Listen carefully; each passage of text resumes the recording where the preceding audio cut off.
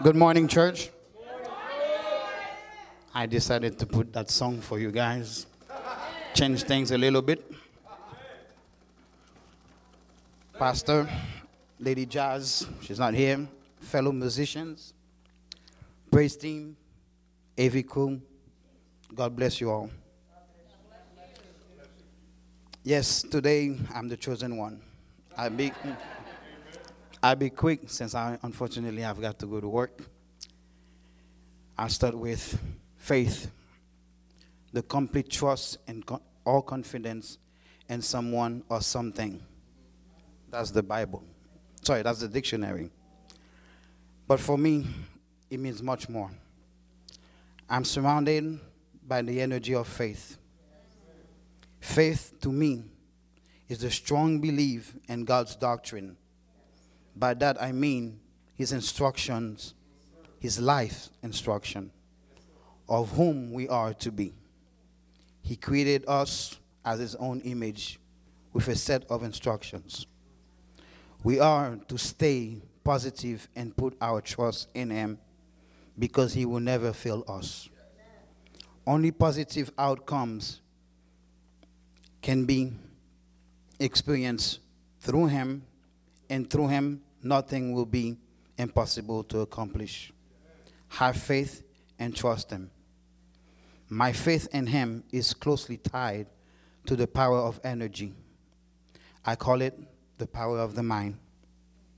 In creating us, I call it, sorry, in creating us, he gifted us with a mind to be used and called upon every time we want to achieve goals and other successes while maintaining the notion of becoming the best human being we can be and possibly become.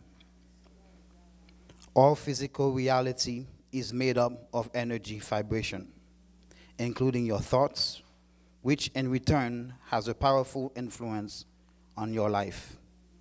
Mind power is the strongest, most powerful, and most useful power you possess. To achieve all goals in life, you have to be strong in here.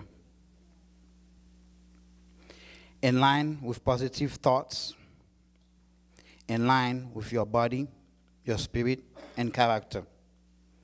It is through being strong from your energetic mind and faith you carry within you that you will have success in life's battle. With God, everything is possible.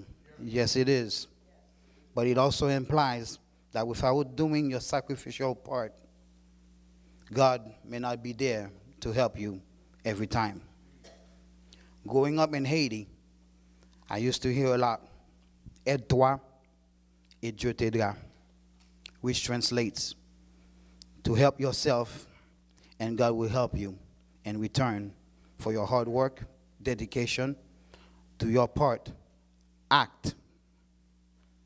Very important, you have to act first and reap the rewards of Him being there alongside with you, reaching those goals. There may be a delay in reaching your idea of success, but believe it, that delay is there to serve you and protect you. It measures your thoughts through your mind. It battles all evilness, doubts, anxiety, low self esteem, and other negativities that us as sinners we carry. It helps to prepare you for the task ahead with one objective how strong and dedicated you have to be to achieve your definition of success. Notice that I use the word your definition because not everyone's definition of success are the same. We are all created equal, but our mind think differently, which makes us, all of us, unique. I believe here in this area, you guys say what floats your boat may not float somebody else's boat. But put your mind and energy into your wishes and have faith. Believe and see miracles happening. Don't give up at the first sight of failure. Stay the course. Re energize yourself. Re energize your mind.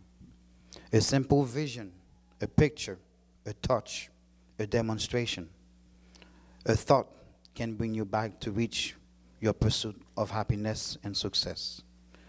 The power and energy of your mind is intimately tied to your Creator, a Holy Spirit and energy of His own, whom only wants the absolute best for you. Just have faith and watch the reward comes through. With that same faith and power of energy, hand in hand, your spirit can achieve any and everything you wish to accomplish. You have got to believe it because one thing is for sure God believes in you. God bless you. Thank you. And good day, mates.